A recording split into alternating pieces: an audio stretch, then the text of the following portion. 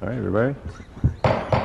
Good evening, ladies and gentlemen. The uh, Public Works Committee now will come to order, and we have a general agenda and a consent agenda.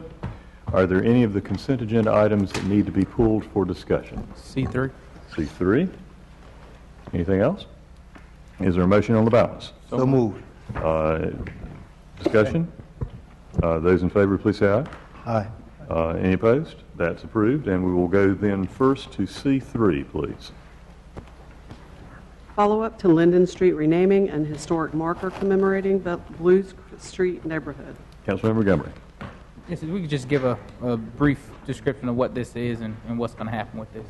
Great, thank you. Um, I'm Margaret Bissett, of course, um, with uh, planning, and I would like to introduce to you all um, the person um, on our staff, a new person on our staff who worked on um, doing the research on um, this item, Desmond Corley. We're very excited to have Desmond on our staff. He came, he joined us in November.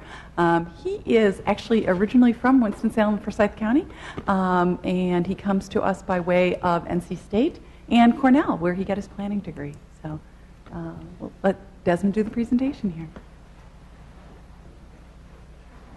Good evening, Mr. Chair, other members of the council. Good evening. Um, Just try and give a really brief presentation here.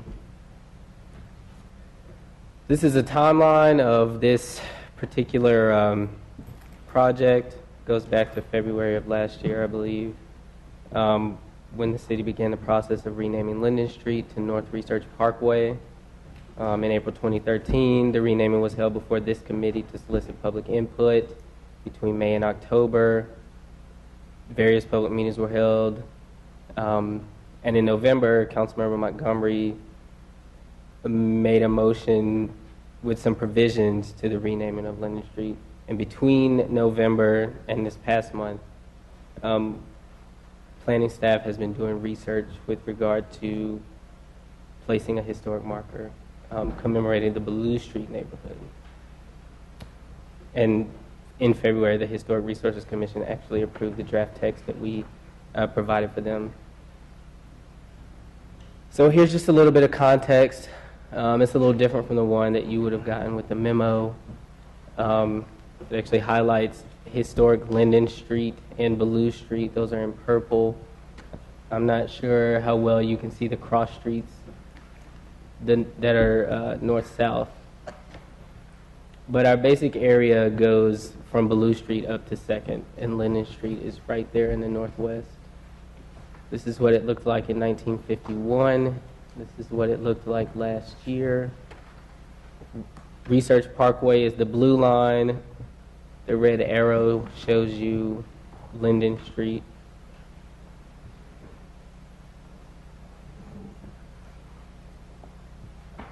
And this is the proposed marker text. I don't know if you all want to hear me read that to you. Um, I can if you want. That's okay. Appreciate the offer, sir. Okay. And this, again, was approved by the um, Historic Resources Commission last month. And then this is our proposed location. The map that went out in the packet is actually wrong as far as the proposed location. This is correct. The one in the packet is too far south. Um, but this is actually along the new part of Research Parkway. Um, so there isn't anything there but street now, but this would be where Bellew Street was in the past. Are there any questions? Montgomery? And so the location here is where the proposed, where the mark is supposed to go? Yes. Okay, and that is- would be where Blues Creek would have, the street would have crossed at that? Would have crossed, yes. Okay. And I know in the, um, in the packet, it stated that there were several individuals that were, were talked with about it, former individuals that lived in, in the neighborhood. And again, as we were going through this, that was a big part of, of reason why this particular stipulation was added to, again, try to preserve some of that history and text, uh, in context of what was happening in this neighborhood. Um, anything, um, added besides what is seen on that, uh, marker in terms of what came out of some of those conversations with individuals? There were some great anecdotes um, some great stories that I could share. I'm not sure how relevant they are to this particular meeting, but And, and the reason I ask that is because, um, and, and it's also mentioned that um, Innovation Quarter is, is it has stated interest of being able to preserve some of the history, and just even some of those anecdotal stories that were gained may help them in terms of being able to chart out what it is that they want to do to help preserve the history and culture in some of the structures that they have there. So I don't know if we've shared that information or if we're going to share that information, but I would ask that we would try to share that information. Okay. All right. Other questions or comments? With that, I move approval. Second.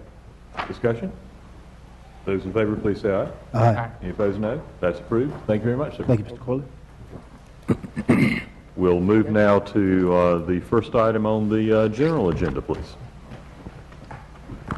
Resolution adopting a revised honorary street naming policy. And Mr. Turner, Ms. McCullough is going to present this. Ms. McCullough. Good afternoon, Mr. Chairman and members of the committee. Afternoon. Um, The City of Winston-Salem currently installs honorary street name signs as a way of recognizing uh, and honoring individuals, organizations, or entities and events that have significant um, impact and importance in the community. The uh, honorary signs do not change the official street name, but they're installed, and they're installed at locations that are, that have geographical relationship to the honoree or the event. Um, the first honorary street name sign was installed in 1999, and um, in the seven years that follow, the city has requested at least, or the city has received one request per year, with the exception of 2004. Since 2007, the um, program became more popular, and um, since 1999, we've actually installed 73 temporary honorary signs and 13 permanent honorary street name signs. Uh, The reason that we come to you is because in August of 2012, the North Carolina Department of Transportation revisited their policy um, and procedures for naming roads and bridges and ferries. And in accordance with their policy, the local division office can um, actually approve honorary signs, and they're only allowed on state roads with the division engineer's approval, and these signs must be ground mount- mounted and not mounted on overhead span wire like we currently do now. Um, The division engineer um, in our division has asked that we revisit our policy and bring our signs in compliance with their policy, um, which means that we would need to remove the signs from the overhead span wire and make them either ground-mounted signs. So this council action is to request um, or to seek authorization for approval from NCDOT for the existing permanent honorary name signs located on state roads and move them to the approved ground-mounted locations. It is also to request approval for a revised policy to include the new requirements for state road locations. And uh, I'll take any questions that you have. Uh, Councilmember Taylor. Is there an additional cost to ground mount these signs as opposed to hanging them the way they are? The ground-mounted signs would probably, the- we can make the same signs unless we in- determine that we wanted to make them larger. So if we made the signs larger, then of course there would, there would be an increased cost. The existing policy does transfer those costs to the uh, requester. Okay. I was So the wondering. city does not, so we recoup those costs. So the the requester does have the ability uh, to remove the sign if they don't want to pay uh, the cost associated with it? The- For the new sign? Yes. I think the if we were to decide to take the the existing signs and relocate them, then that would be at our cost. And we did not do a cost estimate, I'm sorry, for this meeting, but we can, we can get that for you. That'd be helpful information to have. Thank you. Councilmember Adams. Yes, thank you. Uh, And maybe this should have come earlier, uh, before this part of the process. But uh, I think it's great that we honor people by putting up the honorary signs and the temporary signs. I just wish we had plugged a timeline into it, such as if you do the honorary, it's for 90 days or whatever. If you do a temporary, it's 30 days. Versus now, we- we're getting all of these requests and it's no timeline. I think we need to revisit that, this committee. I really think we need to revisit it.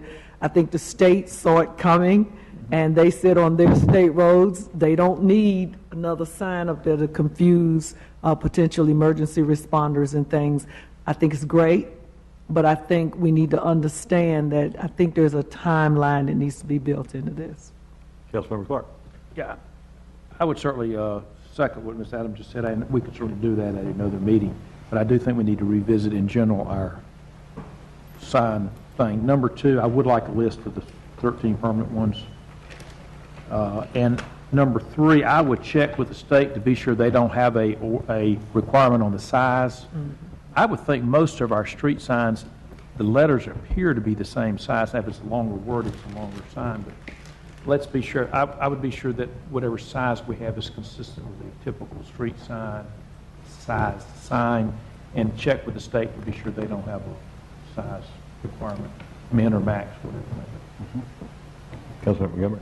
Um, I think we, in terms of looking at this, I think everybody what's it has been stated is is good stuff. But I think we do have some timelines on it. But I think we just change it when somebody comes back to us and say, "Okay, can we leave it up a little while longer?" We oftentimes change what we have in in writing to accommodate individuals, and I think that's the piece that we need to come back and, and look at.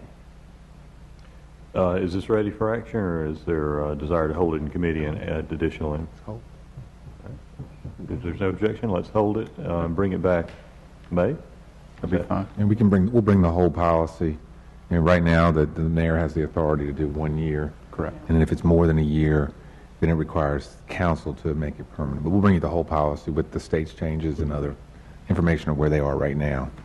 Very good, thank you. We'll hold this, we'll bring it back to, uh, to committee in May. Um, G2, please.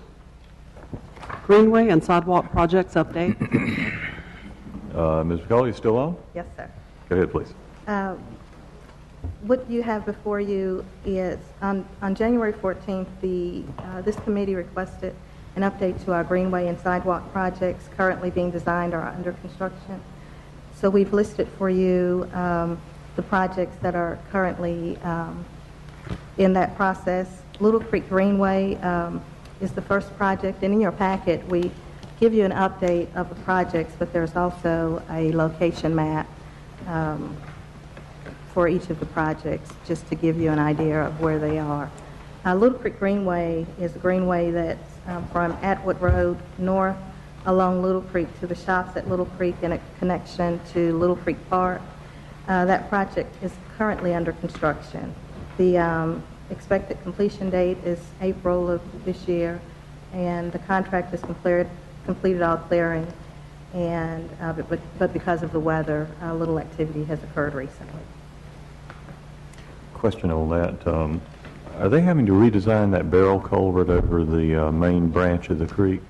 I may have to defer to Robert Prestwood. Uh, Mr. Prestwood?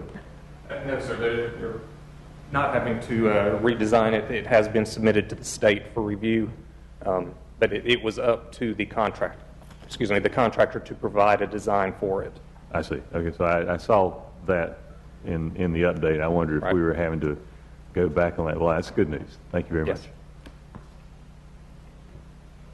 Brushy Fork Greenway um, is located between Lowry Street to Reynolds Park Road. Um, It's currently undergoing a flood study for which the contract is being routed for signatures. Uh, At this time, a completion date has not been set. Um, This is also probably for Mr. Prestwood. Yes. Um, uh, Have we not heard back yet from DOT on that?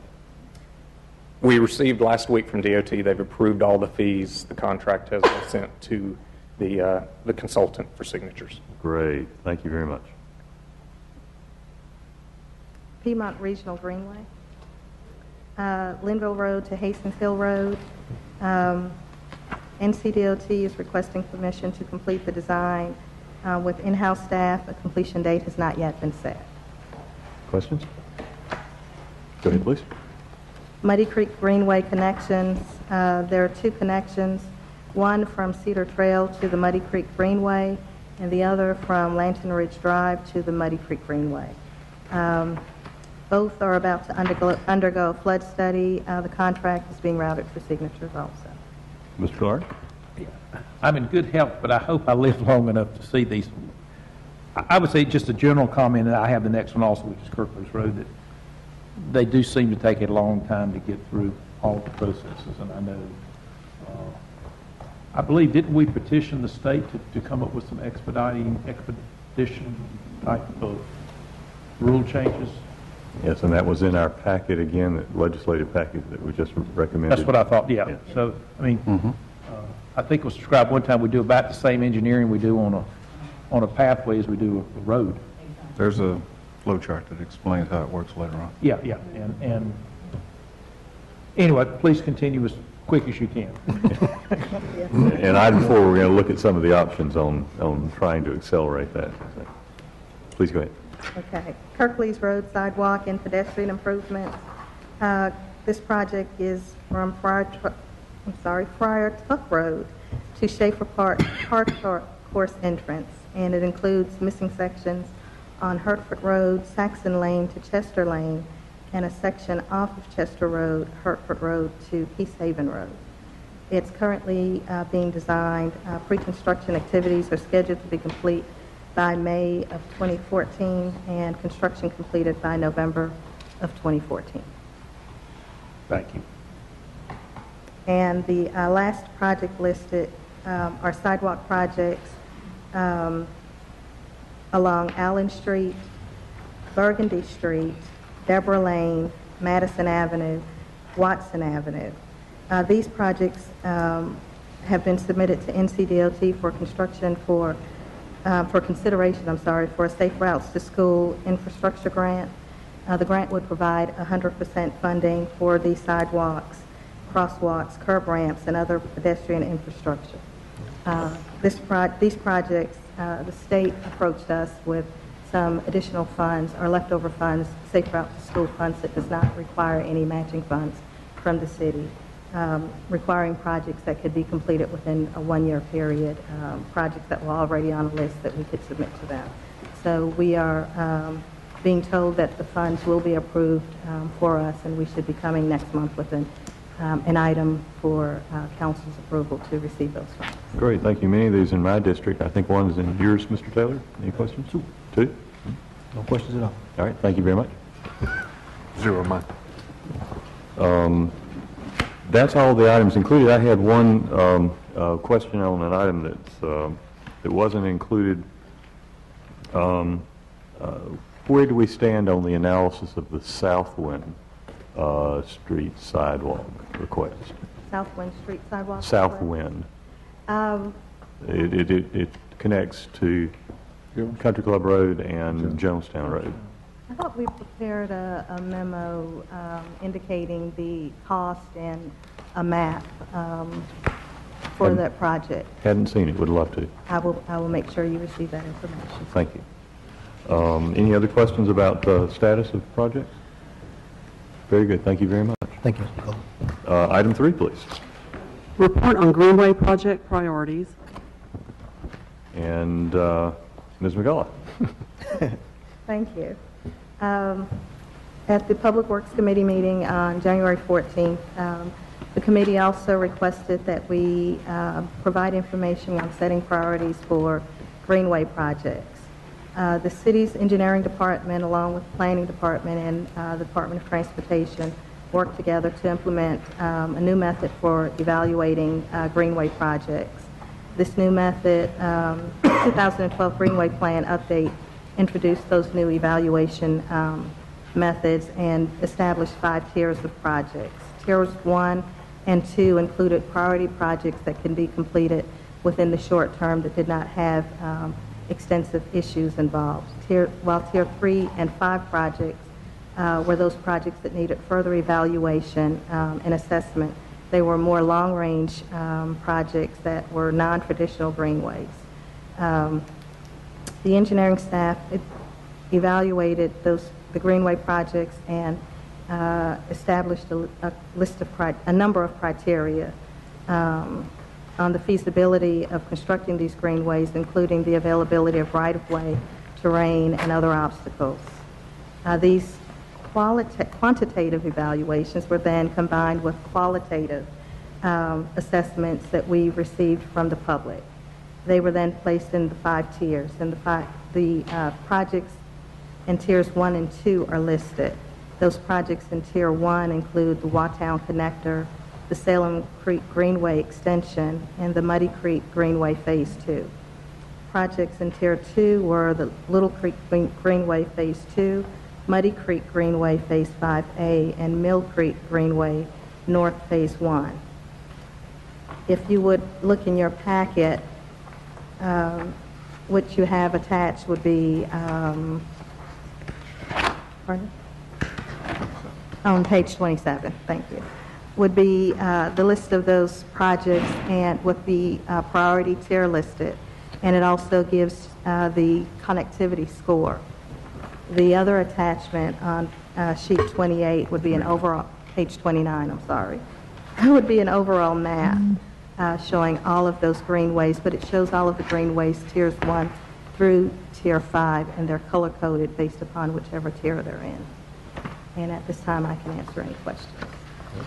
And I would just note that I believe all six of these priority projects are included in the discussion draft capital bonds package. Um, Waughtown Connector costs in full and uh, matching funds for um, uh, STPDA slash Transportation Alternatives funding for the other five. Questions? Comments? Mr. Clark? You got the, the points there, maximum of 10. Do I gather from this that if you're not on the list, you have a low score? No. I'm kind of surprised that one of the ones in tier one has a, not picking on whose ward it is, a 5.6, yet you got a 7.3 and a 7.1 in tier two. Uh, No, sir. It doesn't mean that, that ha- that it has a low, has a much lower score. The connectivity score was uh, trying to compile the, um, looking at the qualitative and quantitative uh, scores from what the community said they wanted as compared to what's buildable, whereas when the final list of uh, projects were uh, placed in Tier 1 or Tier 2, they were uh, evaluated more highly on um, the ability to construct. Yeah, and all those have to come into play. Yes, sir. What, what happened is this, the things that had barriers to um, reality, you know, got dropped out of the, the, the priorities. Uh, and then you, you had a mixture in assignment of, of tier one, tier two, et cetera. Uh, you were including a mixture of the factors of, of the objective uh, connectivity uh, improvement uh, criteria and how much community support there was. Um, the, uh, the one of the projects that got 5.6 um, was also the one, if I remember correctly, that had, um, I think, the second highest number of community support turnout at the public hearings. Um, the, the other, the only one that got higher public support ranking was the Muddy Creek. Yes, So, Um, and actually, I'm puzzled why that particular project only got a 5.6. And you look at the fact that it, it would, the new trailhead would anchor at Forsyth Tech um, and uh, connect Forsyth Tech to uh, Salem College, Winston-Salem State University, uh, and um, School of the Arts. So I wonder if all that got counted. Anyway, but, um, and let's see, um, yeah, no, those are, those are my only additional information points. Other points? All right. If not, thank you very much for the, um, for the overview. And we'll go to item four, please, which speaks to Mr. Clark's point. Information on future Greenway acceleration options. Mr. Prestwood. Good evening, Mr. Chairman, council members. Good Evening. Staff was recently, as recent as just a few minutes ago, asked to look at a way to uh, speed up from the announcement of the greenways to the actual construction time of the greenways. Uh, As you're all aware, we rely on NCDOT funding for the majority of this. They supply 80% of it, and we supply 20% match. Um, Because of this, just about every step of the process has to be reviewed and approved by NCDOT. Um, Flow chart was put together so you can see the process we go through currently. Um, We try to use those funds to pay for everything possible um, to get as much bang for the buck, but because of that, um, it adds multiple layers of approvals in there. Um, Looking at the flow chart, we came up with a few options to possibly speed the process up. Um, The very first page you have is the process we go through now. The, page 33, okay. Then page 34. Page 35? Okay, 35 is a proposed process that would, um, we're proposing that the, the city would pay for any special engineering studies that need to be done. Um, That's the process we're currently going, that would, took many months um, on both of the uh, current greenways, where we have to hire a consultant to do a flood study um, to receive the permits we need. This process, we're estimating if we were to pay for those engineering studies 100% city money, we could eliminate one to two months of the process uh, before we reach construction. One thing to remember is even if we're paying for those studies with city money, we still have to follow all the state rules. Any project that has state money in it, um, we have to follow all of their rules and procedures on everything we do. The third flow chart shows the speed increase we feel we could achieve if the city was paying for the engineering studies I talked about, but then also the right-of-way acquisition. Um, This makes a very large impact because if we are acquiring the right-of-way with our money, we can go ahead and submit for what's known as a categorical exclusion. It's a major permit we have to receive. Um, And that process of that review is a six to seven-month process. Um, If we are using state money to acquire the right-of-way, we have to receive that CE before we can even begin acquiring the right-of-way. So that's why there's such a a speed up in that process. So the seven months of the right-of-way and the one to two months of the engineering studies, we feel like if the city was funding all of that, we could cut eight to nine months from the design process. And then just more as a comparison, the fourth sheet shows the pro- what the process would be if we funded greenways 100%.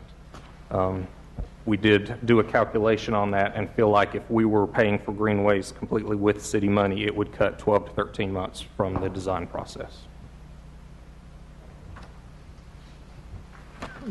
Are there any questions? I'll start. Um, uh, Can you give us an idea of, of the extra city costs that would be incurred with each of those options compared to the overall project price?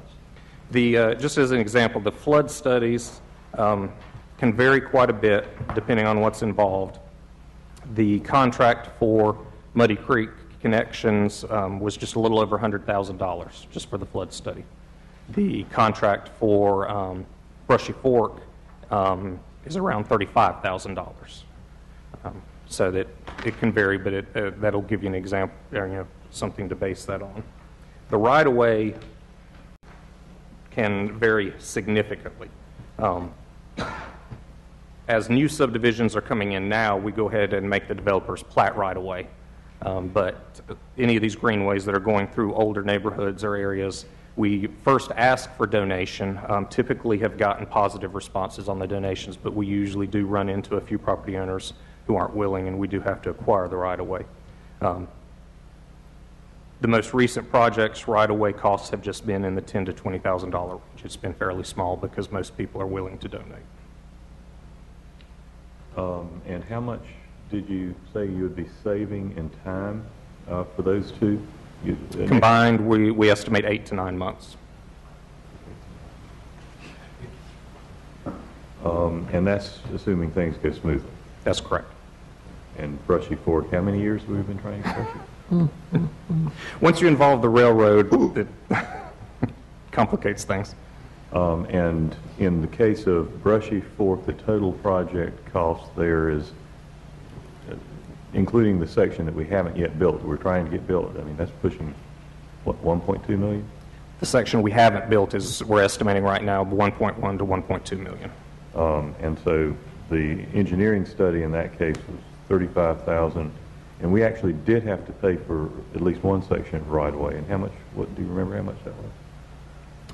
For this section of Brushy Fork, we, we haven't gone through the right-of-way process yet. Okay. For, for phase Oh, I'm sorry, four. the, the- the, Yes. the other, the early phase. Yes. Um, But the major property owner in the current section is Winston-Salem State, which That's is correct. backing the project. Um, So uh, a, a one point, looks like uh, a $1.2 million project, we could save as much as most of a year um, with an extra city investment of, what's 80% of $35,000.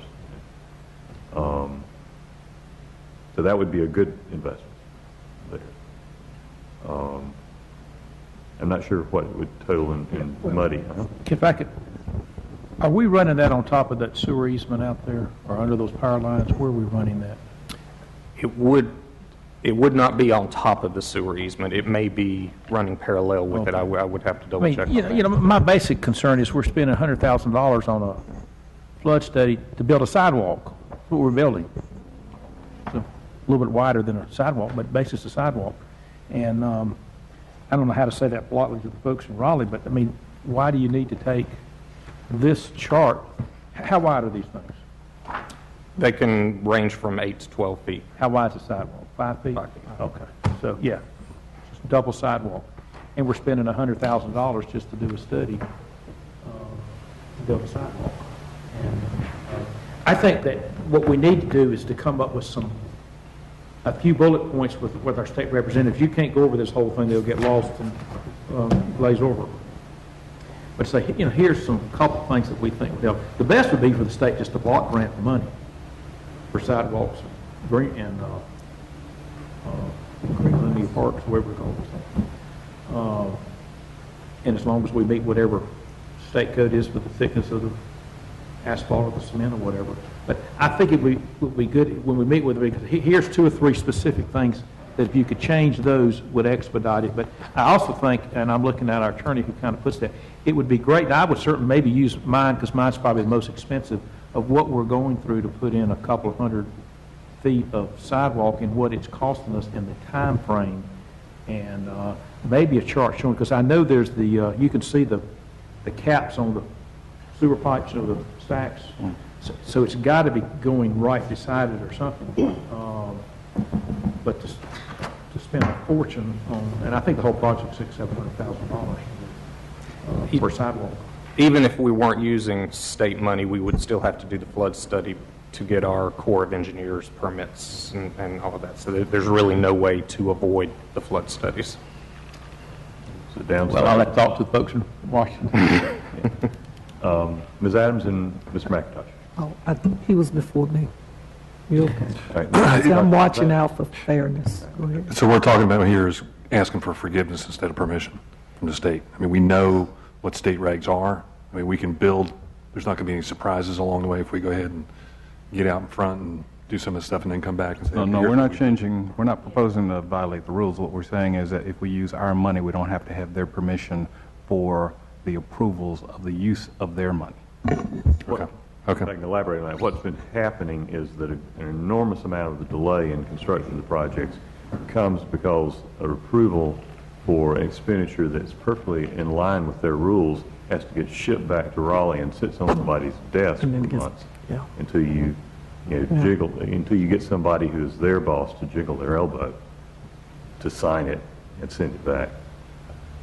Adams? Uh, just want to, I guess, comment or piggyback on Councilmember Clark and Mac, Councilmember McIntosh in that we as city officials tell our people, you want greenways and sidewalks, we can get that, or, or that's good, and we'll get that for you.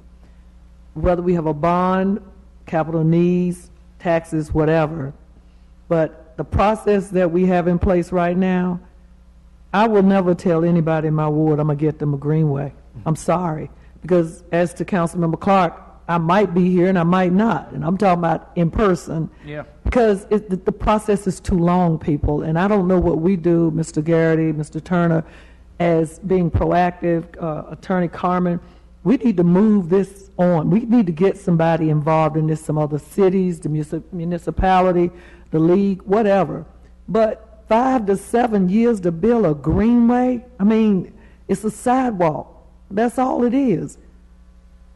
I don't, I don't get it. And because if you go and look at some of the ones that we have now, Mr. Besse, you can attest to this. Yeah, some of them get a little flooded when it rains. I mean, but whose backyard doesn't flood? Come to my house and see what I got right now. But the point is, we can't keep putting it on the agenda of what we provide for our citizens when we know in reality this deal is no closer than the Beltway. Just comment.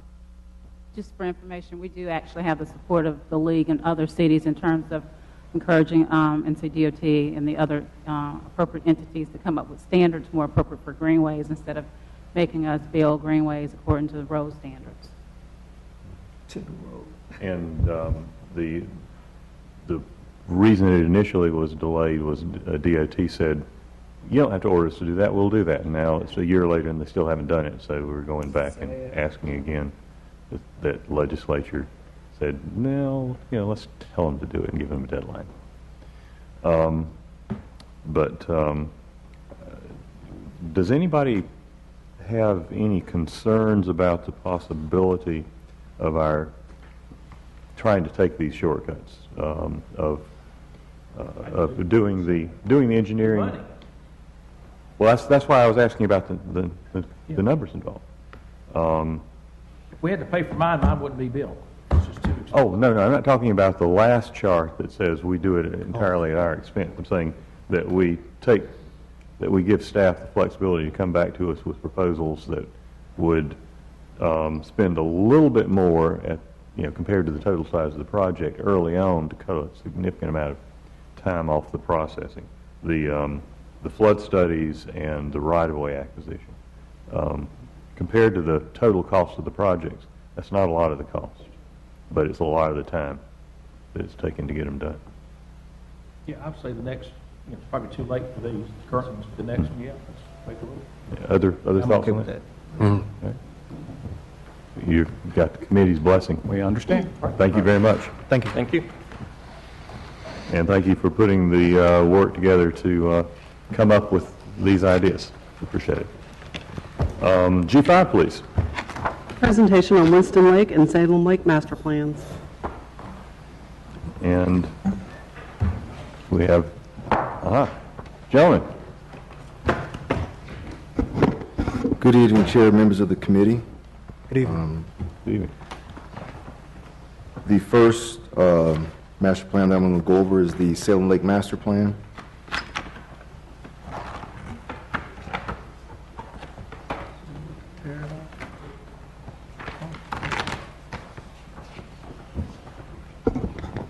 First area I'd like to uh, go over is the uh, implementation um, of what we feel we could do with uh, Phase One monies. Um, These are uh, staff's recommendations for Phase One implementation of the master plan.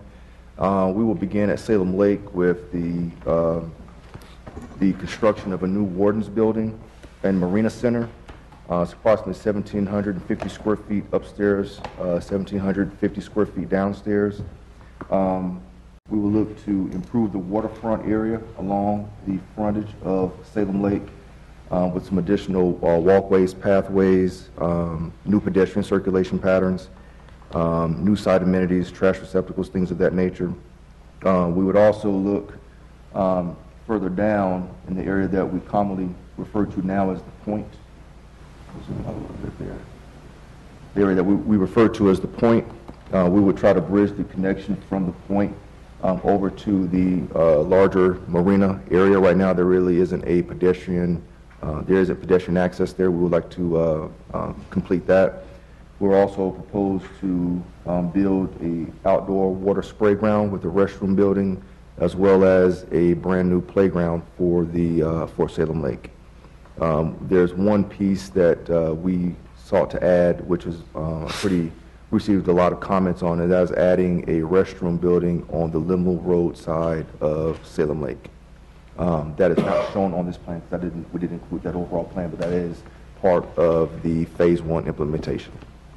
Um, We feel that um, signage, um, uh, various side amenities along the, uh, the frontage of the, uh, of the lake here, and the installation of the new Marina Center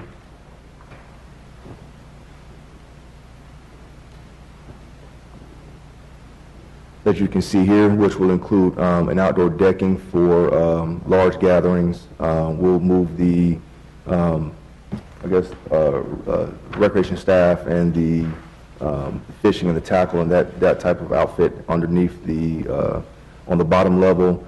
Uh, We'll provide a a really nice views and access out to the pier. And on the inside, have a large area that, where we have a re- really nice meeting space. Uh, We look to use this piece as a, something that we can use to uh, generate revenue. Uh, We think it'll make an an immediate impact, it'll keep the interest going, and allow us to continue uh, developing the master plan. Any questions before I move on to Mr. Lake? This is a good time to ask questions about this, because when it came through the first time, it was a, it was a vision off in the future, and now we're talking about putting real money for this on this year's bond package. Ms. Adams? Yes. Presently, how many people staff Salem Lake? City employees? How many people do we use to, or have working there? Council member, currently at Salem Lake, we have uh, two full-time staff positions and four part-time staff positions at Salem Lake. And basically, what do they do? In real short, what do they do? Uh, Patrol the grounds, help people on the trail. They sell uh, boating, fishing licenses, boating registration, and just kind of man the facility. Okay, how many people are we talking about with what we're doing here? How many people are we talking about we're going to have to bring on? Because to man something, and this is great, but to manage and man, man this appropriately and ensure that people are safe, and we're talking larger areas, more people, more areas where sometimes there, uh, people cannot be seen or whatever, and people managing the arena center, marina center, how roughly, give me a number, how many people we think we may have to bring on? At this particular time, if we had to give you a number, uh, we feel very strongly that that number could be met with part-time staff, part-time non-benefited staff, with probably two to four additional part-time staff. Okay, I, I, I hear you. I know it's an estimate, but I think your numbers are going to be a little larger than that. So I wouldn't hold you to it, but I think we need to start looking at that as well, uh, Chairman, uh, as we go to these projects, whether it's this, whether it's the quarry, whether it's Union Station, whether it's the police districts, whether it's any project that we're now creating a venue that we're going to have to have people there. We're expecting people to come there. Along with the numbers of making this work, we need to look at what are our numbers going to change on the employee side. That, that's all I'm saying. I I think that's a good observation, and I think the two facilities that would guarantee uh, extra staff burden, in particular in this context, would be the Marina Center and the spray. Because we don't want to get sued. Mr. Shelley? Well, uh, of course, this particular project is in the southeast ward. I know there's a lot of time and effort that went into this, a lot of citizen participation. Uh, I like the project. Uh, This is included in the bond referendum, and I believe the price tag that is put on it is roughly uh, $4 million. But I believe that out of that money, we will definitely see uh, the best bang for our buck. Now, uh, I think you bring up an excellent point, Councilmember Adams, uh, in reference to Salem Lake and, and the amount of employees that we may have to increase there. But I believe that uh, the Marina Center is probably one of the more innovative centers that we have uh, in the whole Parks and Recs uh, facilities. And I believe that that particular center will pay for itself. I mean, given the outlook over the lake, uh, the way they're trying to make it look here, I believe they would generate enough funding to be able to, to, to bring a few more people on. So I think this project, once it's completed, will pay for itself. Uh, Gentlemen, what, what are your thoughts about that? Well, certainly with the Marina Center, or the staff's vision was to have a facility that would uh, create demand for rentals uh, approximately year-round. Um, Currently, right now, in the fall and winter, you know, you can get great views of the lake. We do believe that as far as a rental facility that we operate, that this has the potential to generate rental every weekend, and a lot of it could be during the weekday because, as I think as Mr. Royston pointed out, the bait and tackle shop will actually be underneath on the bottom level. But we can go back and, and look at an operational budget and put some numbers together and bring that back uh, in the future. Yeah, I think that'll be good to have. Uh, I was just there this weekend on, on, on a John boat. I, first of all, I want to take the opportunity just to commend the, the staff uh, for the good job that they do for the citizens there. And included in your staff, you have to have somebody who drives that boat and goes out to get people who floats too far. Uh, I, I was out with my mom and, and my wife, and we floated a little bit too far, and I didn't have the strength to muster back in. So we've got to include that in the staff as well. I wouldn't have told you. I, I gave up. I gave up. Football days. huh? Gave up yourself. Ms. Adams? Yes, um, I also want us to think about when we do, we're doing all of these great projects and these, these visionaries that we've had now for four to five years. I have no problem with that, but we also have to be proactive in thinking. We're also talking about a huge barn or capital needs to the convention center. Uh, we're talking about possibly something at Winston Lake. When you start talking about creating all these venues for rental, you need to start thinking about what's going to pull away from something else and how we invest our dollars. Uh, Mr. Garrity, I, I think you know what I'm talking about. If I create a new convention center somewhere down the line, and I got this great marina out here, center, that now I've been going to the convention center for my little conference or convention, but I'm going to pull them to Taylor, Councilmember Taylor's arena out here because I love it, you know, the view. But then I also have some other places in the city that we're looking at. I just need us to understand where we balance, there's a counterbalance. And we need to start looking at these projects now of how they will impact or affect or a ripple effect to each other. That's all. We need, we need to look at that because we can invest the dollars, but we may not see dollars. We may not even see an equal, uh, Councilman Besse, you you know what I'm talking about. There may be a downside to this. This is great for the citizens of Winston-Salem. This is going to be a tourist attraction. And, and that's why I'm saying we just need to look at the whole picture now, since all of these things are going to be happening around the same time. Ms. McIntosh? Do we rank our parks in terms of usage by citizens? Is there a numerical? Councilmember, we don't rank them. Um, I can tell you the most heavily used park locations, but we don't provide a ranking. This would rank near the top, would it not? Uh, Absolutely. Yeah. Along with what else? Hanes Park? Hanes Park, uh, Bolton Park is another heavily used park.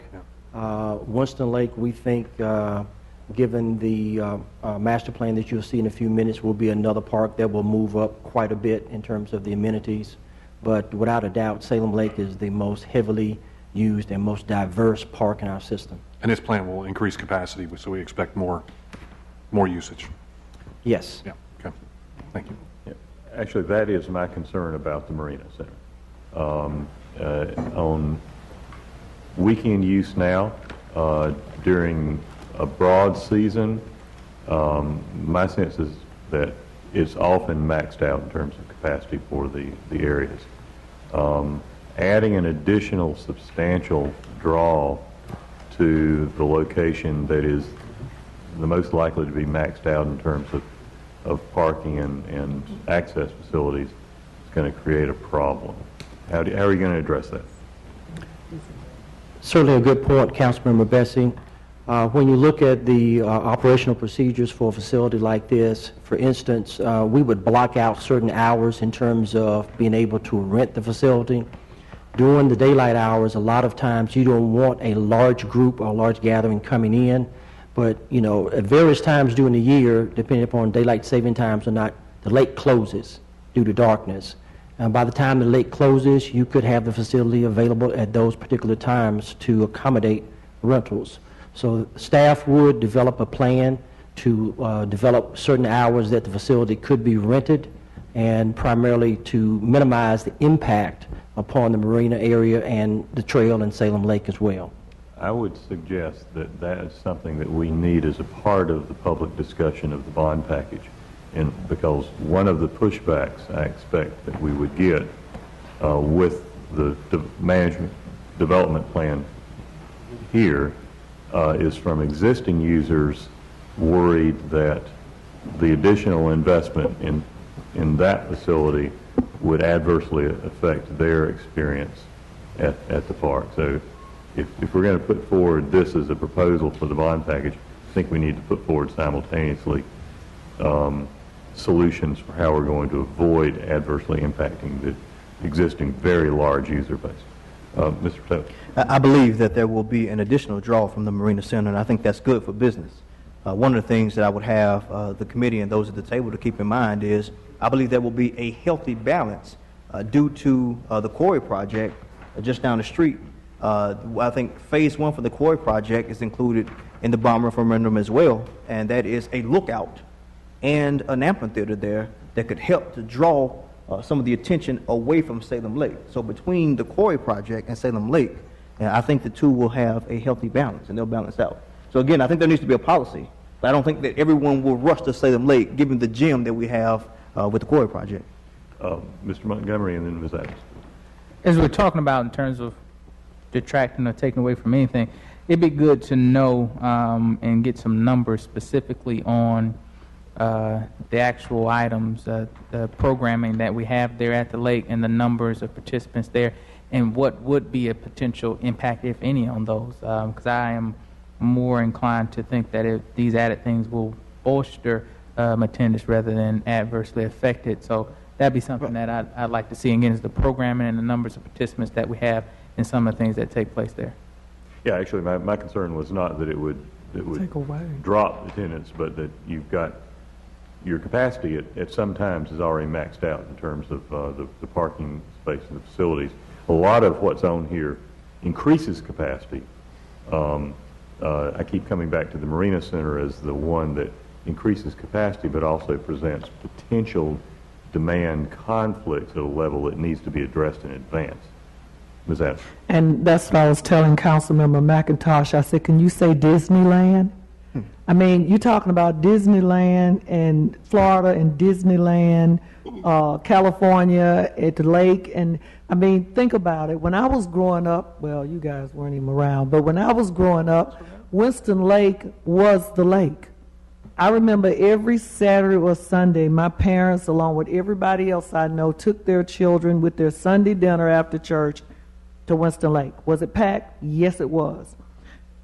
You got to remember the times we live in now. Uh, parents and young people want to be more interactive than what they are with outdoors and engaged. This is it right here. This would be the. Now you got to also think now. Greensboro, High Point. We used to go to High Point Lake too. High Point, Greensboro, Lexington, King, Tobacco. All these people, when these things open, this is Disneyland. The quarry, Disneyland. So we need to start thinking about the numbers because now it becomes, as we always say, a destination location. Mr. Montgomery? And, and one last thing I said, that, that I think Councilman Adams is, is 100% true. Um, our church, we, we do an annual um, uh, picnic that we have with the church, a cookout we do, and we, we go to High Point Lake. I mean, we, we go to the park in High Point because of the amenities that are there, particularly for the young people, the pool access and, and the opportunity to go out on the water with some of the additional boat access they have there.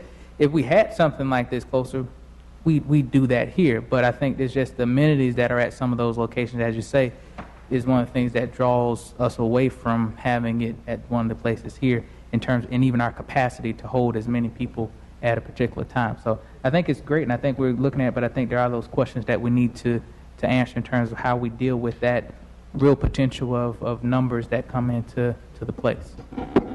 And these are great problems to have. I don't want people to go into a panic and think this is a reason not to do it.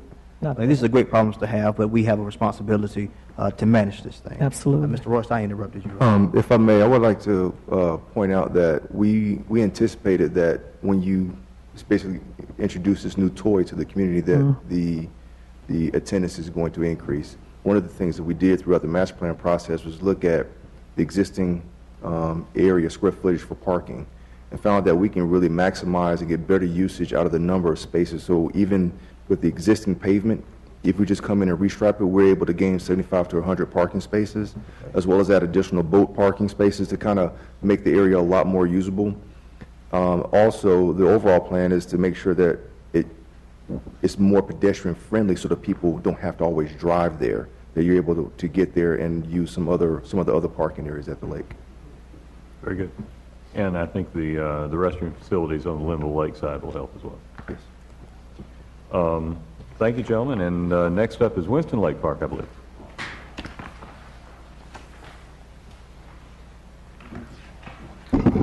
Okay, to begin with, I want to show you an overall view of the overall plan that was completed for Winston Lake Park. Um, Staff's recommendations for Phase One will be focused in this area here, which is uh, right off of Waterworks Road and 311.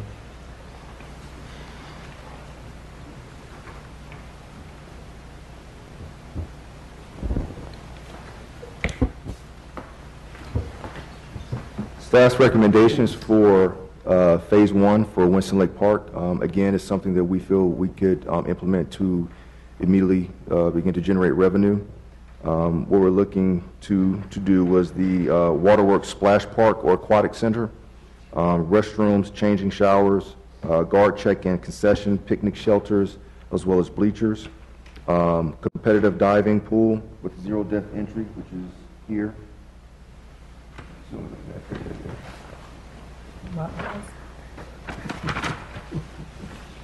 Um, Zero depth entry with a splash pad, um, an iconic uh, tower element, something that people can begin to see and identify with, uh, with Winston Lake. Um, Have a lazy river attached to it um, as a, as an amenity. Um, Revamping the parking, uh, which is on the opposite side of the creek uh, to uh, increase parking, uh, uh, resurface uh, a lot of the existing pavement there, add, add um, a little bit of extra paving, but kind of repurpose the existing um, parking lot that's there. Um, Add signage, walks, fencing, furnishings, and creating a bridge access from the parking area to the um, splash pad. Uh, Everything that you basically see in this area here will be implemented as part of Phase One. Uh, One of the things that we also included with this was a uh, signage allowance. Uh, It can, it's going to, it could be a little confusing for people, so we want to make sure that we have the appropriate directional signage so that people um, don't get confused when they enter the site. Any questions? Questions? Uh, Ms. Adams? Yes. How many entrances are there into Salem Lake, what we're talking about creating? I know we got Salem Road or something. How many roads come in or leave that park, that To- area? Into Salem Lake or? Uh-huh, Salem Lake Um, One, two, three. and Winston Lake Park. One, two, three. Is that including the one that we sh- closed down, or will that be reopened, or is, no? Which- By the golf course, there's, a- there's the road that we shut down. That's, that's not included as one of the. Okay, entrances. all right, thank you. Um, Mr. Montgomery? Well, Show, where, show me the three for Winston Lake. You have the um, access, the current access, which is here, that Mhm. kind of takes you to where the uh, Tiny Indians, or you have the uh, access off of Greensboro Road, and you have the Waterworks Road, the, uh, the Winston Lake Road access, which is here. And I, I think that was the, the place that I think Councilman Adams mentioned, because you can't access all the way back around from Winston Lake. Um, It goes all the way through up to Greensboro Road. When I'm talking about, if you're going in from the golf course side, from Winston Lake Road, is that the one you're talking about? No. Okay, because I'm, I'm, I'm trying to follow this, because I, I, I- I'm only really thinking of two. I may, I may miss them. Yeah, I I know about You're right. Waterworks Road and the old Greensboro Road, I'm trying to, I'm trying to think of the the third? third too. The access off of Waterworks Road, I mean, off of Winston Lake Road, um, goes all the way through the park, around uh, several picnic shelters, um, uh, around the lake, and it comes out on Greensboro Road. Oh, yeah. There, there was, there was a piece of a road that is closed, um, and part of the overall master plan was to make that a pedestrian Walk type. walk and not a vehicle access. Where- So it's, it's two? Or it's three? Let- Yeah, we're, we're, we're- we're still, we're still only seeing Waterworks Road and Old Greensboro Road. Let, let me see if I can clarify this. Off of Waterworks Road, you have an entrance into the park, which is Winston Lake Park Road. Mm-hmm. You have a second entrance off of Waterworks Road that gets you towards the Ray Agnew football field. Right. So if you count that entrance, that's your second entrance, and if you count the new Greensboro Road entrance up by Atkins High School, that gives you three. So two of the entrances you're talking about are really pretty close to each Right there, close Yeah, they're together, close yes. together. Right, got it. And the, the, the the one that you're not counting is the one that opens off of New Walkertown Road? Because that just goes to the golf course, right? That's, that road was, uh, council closed that road some, uh, a number of years ago after a very tragic accident involving a um, local police officer. Okay. And the new clubhouse, let me just add this, when the new clubhouse was built at Winston Lake Golf Course, um, it was determined to allow the golfers to be able to take their carts into the parking lot. So now you have a situation where the road has been closed by council, and you have golf carts that are allowed to go from the clubhouse into the parking lot. So in, in essence, they actually cross what a road that was once open. Thank you. Mr. Taylor? At some point in time, gentlemen, uh, the, the Tiny Indians football team played at the, the Boys and Girls Club on Martin Luther King back when I was growing up there. They since moved off of Waterworks Road uh, to the area that I'm looking at here. What happens to the Tiny Indians football team in this master plan in Phase One? nothing happens to relocating the Tiny Indians. They actually, if you look at the master plan, the football stadium will actually be improved and enhanced, uh, and will be more of a stadium kind of uh, special event center that football by the time the Indians will continue to be played there. So it's being moved to a different park. No, it's at the same location. The field is being oriented in a different direction. Next to the Y. Down from Can you help me to see that from this map, please? That, it's got the little shelter thing.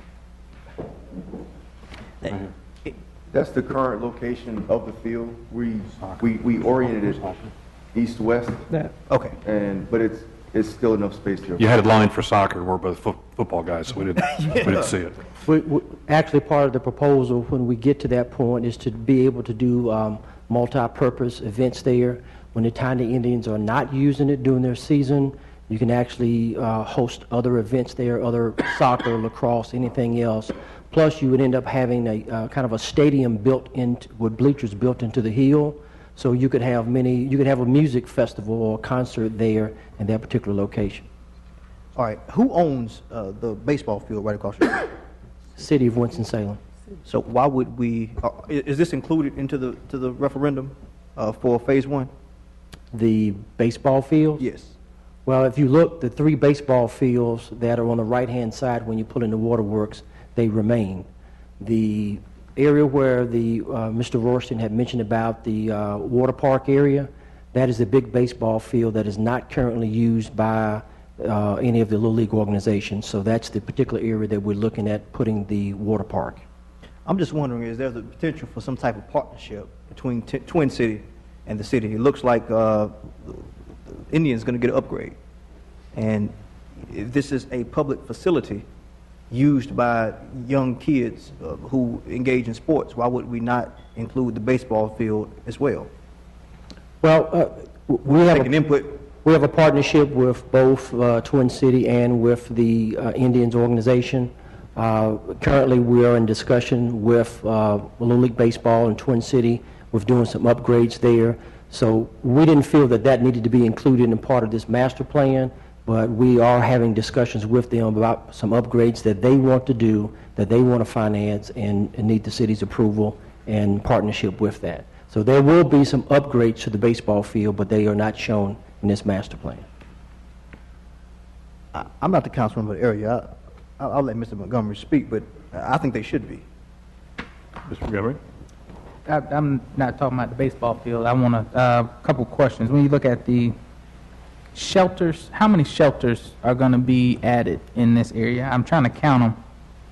Because I was just saying, in terms of with some of these additional amenities, I can see an increase of desire of wanting to have some shelters. And I see one, but I'm, I don't, is that the only one that's added there? Or everywhere you see that kind of brown thing, is that a, um, a shelter? That's, an- that's, uh, that, that that particular shelter is actually part of the aquatic experience. It's not a typical, one of your typical picnic shelters.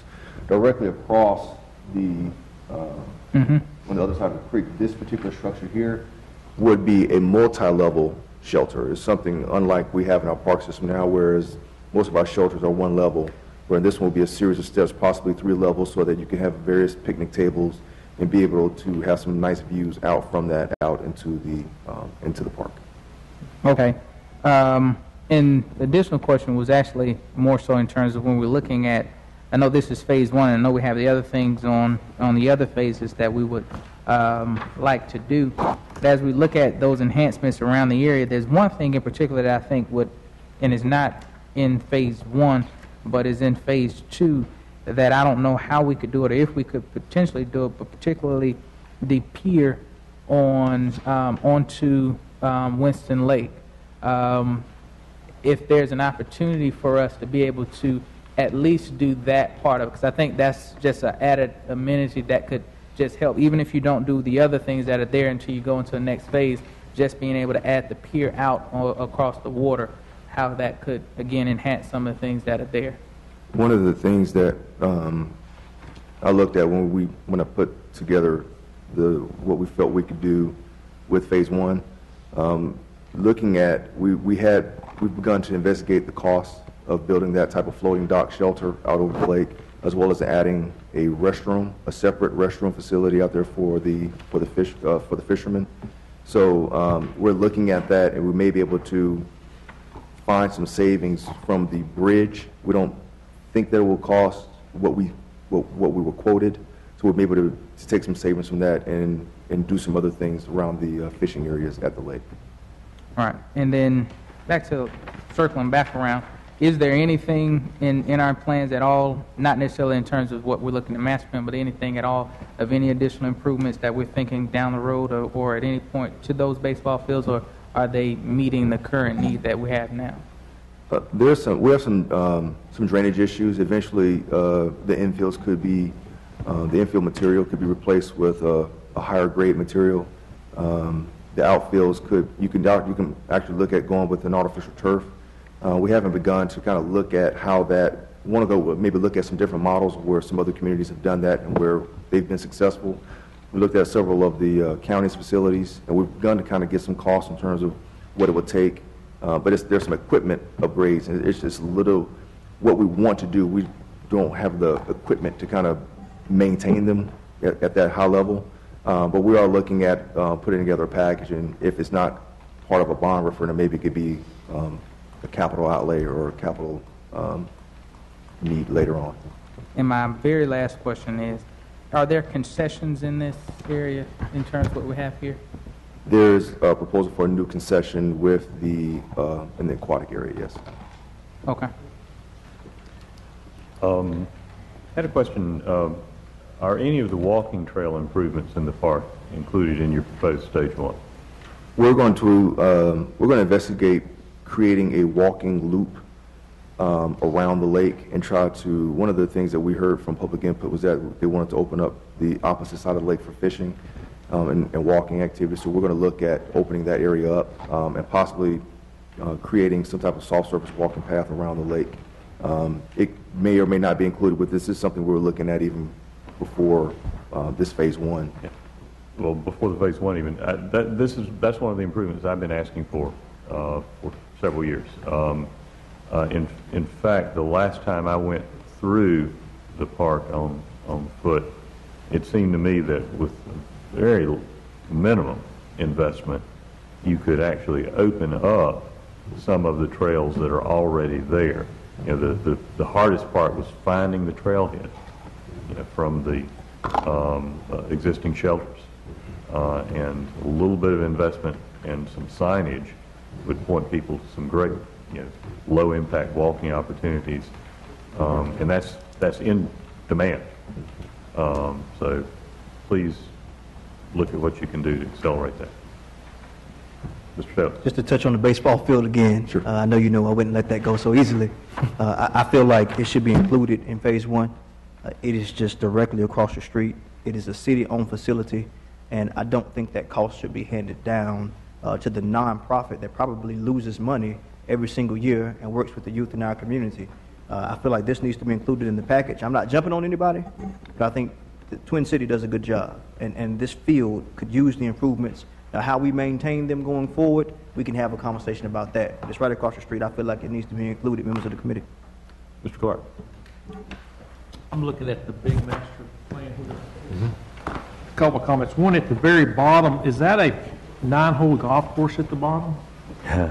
That is a Disc disc golf. golf. Okay. Um, I would say, first off, I like the use of the water, particularly at the lakes. You putting in in some additional boat docks and fishing and things like that. People like beaches, et cetera. I guess my main comment on the Winston Lake one is you've got, if I'm counting correctly, three different pavilions. And it's hard for me to read this writing, but there's one that says Eagle's Nest Pavilion at the bottom. And I'm on the one with the, the lake to the left. Then I've got the Pier Pavilion, is two, and then I've got a building that says Special Events Center. Um,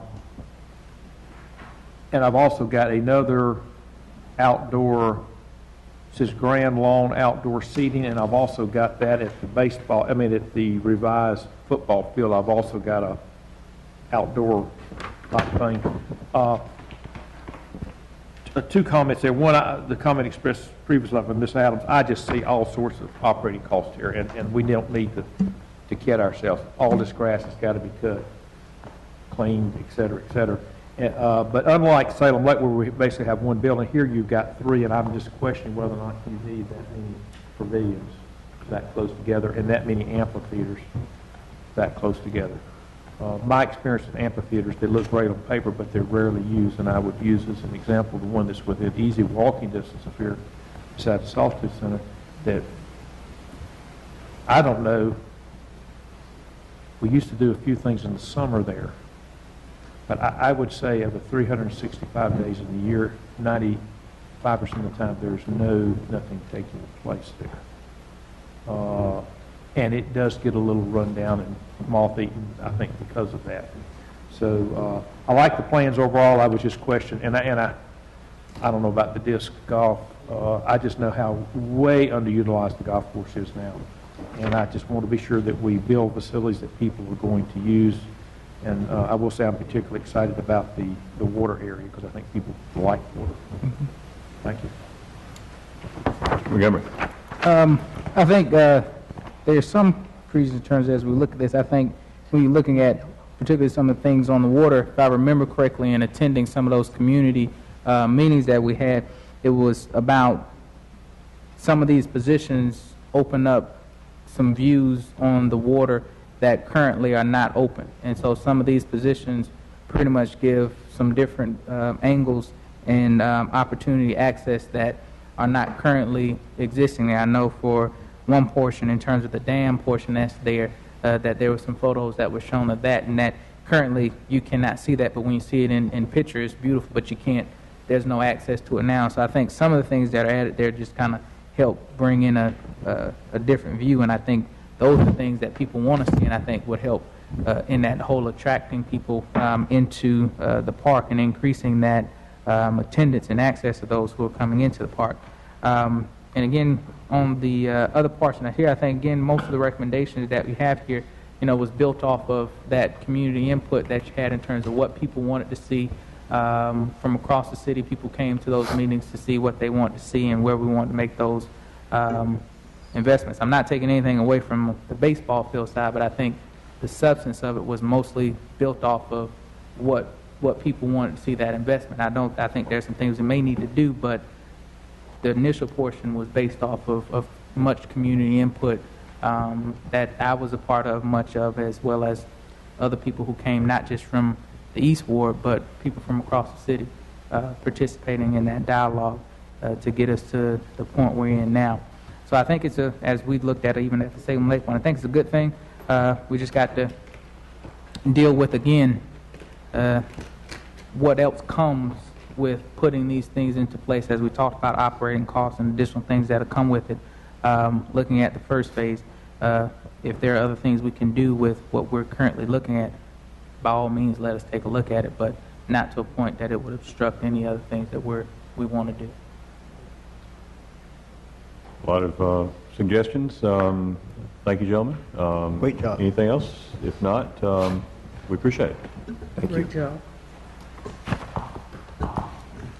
And I believe that completes our scheduled agenda. Is there anything else that needs to be brought before the committee this evening? No. All right. No, I can think of, uh, Thank you very much, everybody. We're adjourned.